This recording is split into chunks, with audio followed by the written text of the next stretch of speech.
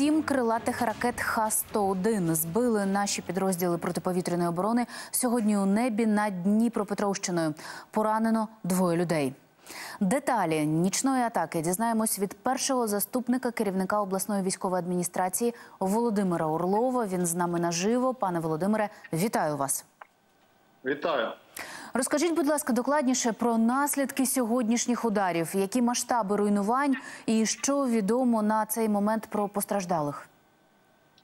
Дійсно, надзвичайно складний ранок. Ворог завдав потужного ракетного удару по Дніпропетровщині. Як ви казали, сім ракет приземлили наші е, ПВК Схід, але маємо прильоти, прильоти по промисловому підприємству. Е, Також пошкоджений спортивний комплекс, розташований поруч, е, вибити хвилею. Е, е, Вікна е, пошкоджені дахи.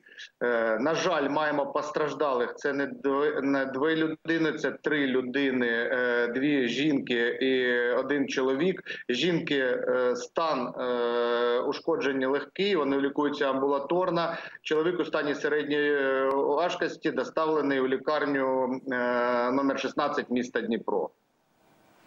Пане Володимире, розкажіть, будь ласка, докладніше про е, те, е, про, про цифри, от які ми сьогодні порахували. Майже половину ракет, які збили сьогодні над Україною, було знищено саме над Дніпропетровщиною. І у соцмережах можна побачити думки, що це була наймасовіша атака на регіон. На вашу думку, це справді так?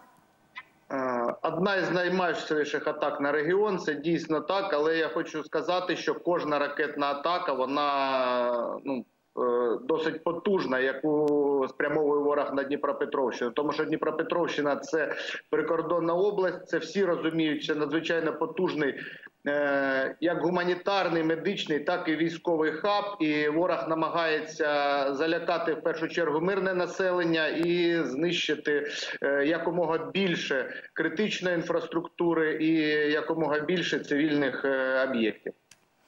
Щодо удару по спортивному центру, спортивний центр має назву Метеор. Правильно він не є військовим об'єктом. Як ви думаєте, чому по ньому били? Били свідомо?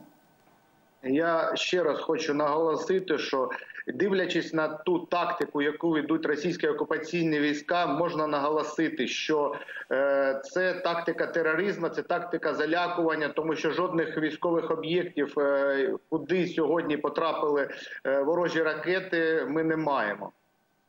На щастя, е, обійшлося без великої кількості жертв, тому що було дуже рано, але це е, ну, такі густонаселені райони міста Дніпро. Якщо, е, скажімо, ситуація ракета могла потрапити в будівлі, раке- е, в житлові будинки, то було б набагато гірше. Або вона була б е, зранку, коли люди йшли на роботу, і їхали по своїх справах.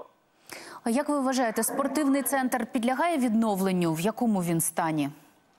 Наразі працюють відповідні служби комунальні, розбирають завали, дивляться на той е, ступінь пошкодження, який є. Але е, стосовно тої інформації, яка є в мене, то спортивний центр підлягає відновленню. Там е, вибити вікна, поневічений фасад, і з е, всередині ми маємо відслоєння гіпсокартону та стелі. Я дякую вам за інформацію. Спасибі. Це був Володимир Орлов, перший заступник голови Дніпропетровської обласної військової адміністрації.